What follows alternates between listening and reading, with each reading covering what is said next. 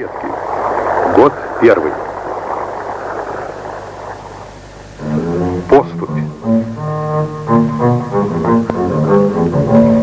Автор сценария Рубен Карапетян. Режиссер Рубен Геворкянц. Оператор Юрий Бабаханян. Звукооператор Павел Чакмещан. Редактор Жора Гаспарян. Музыкальное оформление Норайра Гаспаряна. Директор фильма Хаганы Календарлы.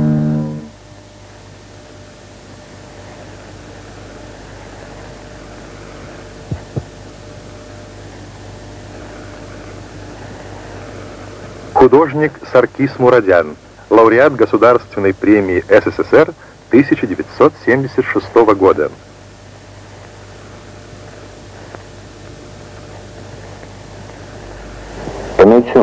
չեմ պատկերացնում։ Չեմ պատկերացնում մի մարդ, որ առհասարակ սիրի եւ Природа. ունենա բնության։ Не представляю такого человека, который не любил бы ее и не был с ней связан. Բնության գրքում։ Человек чувствует себя лучше всего на природе, ведь он сам ее создание.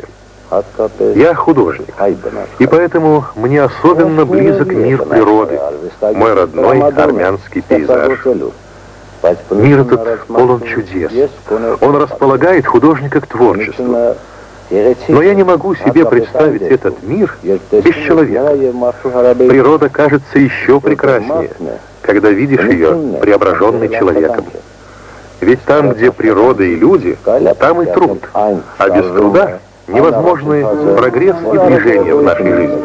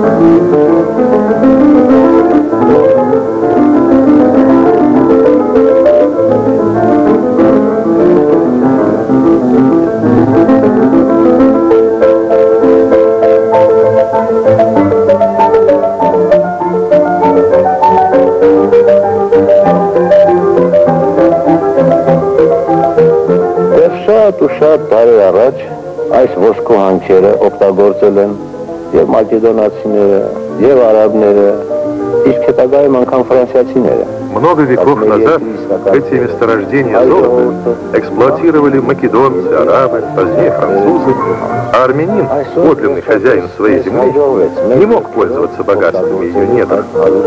Сегодня мы можем, наконец, сами распоряжаться рудой, столь необходимой нашему народу. Не ангам я шаджум эй зоты анкерум. 18 մեր բնությունը, տեղրանքը։ Когда в Зоде я изучал местность, природу, меня привлекли люди, их тяжелый труд, смуглые лица, внешняя суровость. Но я чувствую красоту ее душ и доброту сердец. Именно такие люди строят нашу сегодняшнюю жизнь.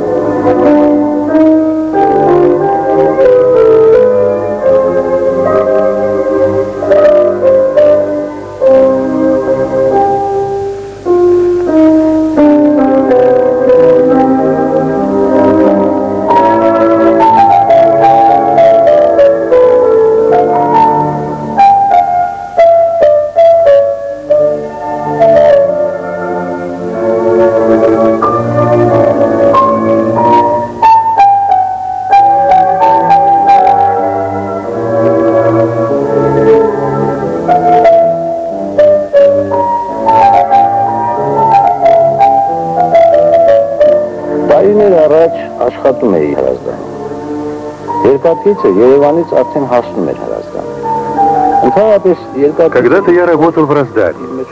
Железнодорожная линия уже связывала этот городок с Ереваном. Дорога для меня всегда заключает в себе некое таинство, рождает радостные или грустные воспоминания, размышления о том, что было и что будет. Сегодня закончено большое и трудное дело. Горы озера Севан с месторождениями золота в Зозе связаны с Араратской долиной, где уже действует обогатительная фабрика, дающая драгоценный металл.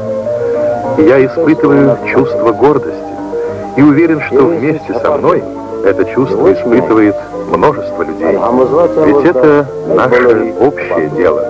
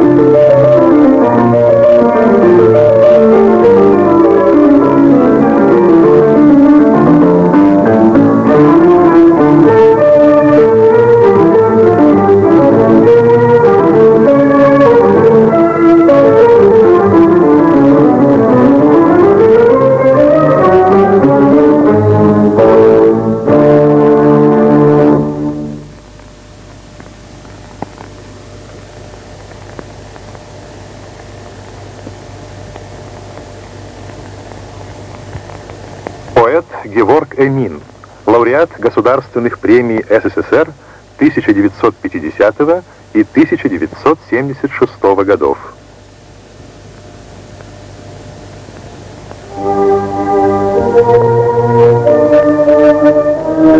Սովորաբար գրողի արվեստագետի արածն ավելի շուտ է երևում եւ շատերի կողմից ընկալվում, քան ասենք գիտնականի Обычно деятельность писателя, художника протекает более заметно для общества, чем труд, скажем, ученого, инженера или врача. Но это совсем не мешает мне понимать значение того, что делают люди, занятые созиданием, дающим конкретные ощутимые плоды. Что может сравниться с радостью человека, имеющего возможность видеть результат своего труда? Скажем, с радостью садовода, посадившего дерево и дождавшегося плодов, с радостью врача, который видит воскрешенного им больного, или с радостью строителя, зажмуривающего глаза от яркого света построенной им электростанции. Наверное, именно эта жажда и стремление к ощутимому труду и привели меня в то время молодого поэта в Политехнический институт. Окончив его в 1940 году и получив диплом инженера-гидротехника, я уехал в Артемийский район в качестве заместителя прораба на строительство небольшой районной электростанции. Впрочем, в те годы даже эта маленькая станция вызывала удивление и восхищение жителей Вартениса. Ведь они впервые должны были увидеть электрический свет в своих домах. Я имею в виду взрослых и детей, живших в те времена. Потому что в сегодняшнем Вартенисе даже дети, которым я сейчас рассказываю обо всем этом, не удивляются современным, в тысячу раз более мощным электростанциям.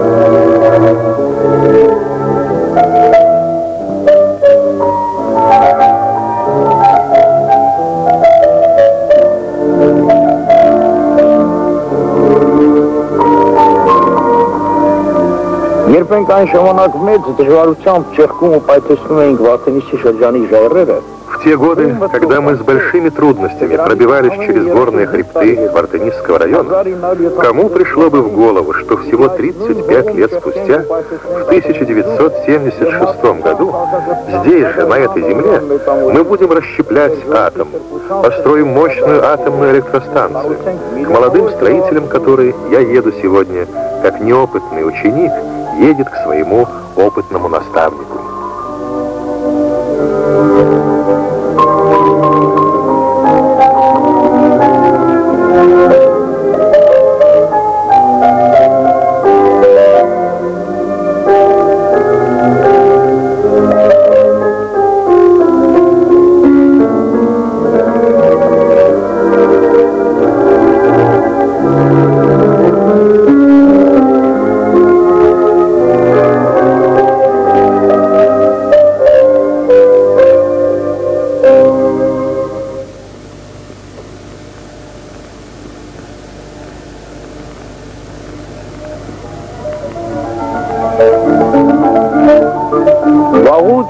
Վաղուց այլևս չեմ աշխատում հիդրոտեխնիկ ինժեների մասնագիտությամբ եւ միայն գրքեր եմ գրում։ Я уже давно оставил свою профессию инженера-гидротехника и только пишу книги. Но советский писатель, независимо от того, имеет он другую профессию или нет, не только пишет книги. Он активный и непосредственный строитель будущего своей родины и своего народа.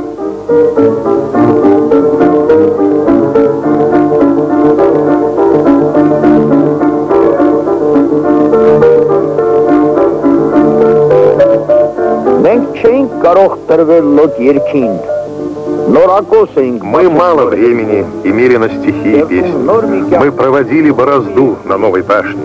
Мы новую страну и жизнь творили, и лишь потом их воспевали в наших песнях. И вы, потомки наши, чьим уделом в грядущем станут лишь одни стихи, конечно, удивитесь, что так мало оставили вам песен ваши предки, что жили в веке бурный и прекрасный. Но вы поймете, что иными были у нас и роль певца, и смысл песни. Мы завещали вам не только книги, но и страну, всю рукотворную отчизну.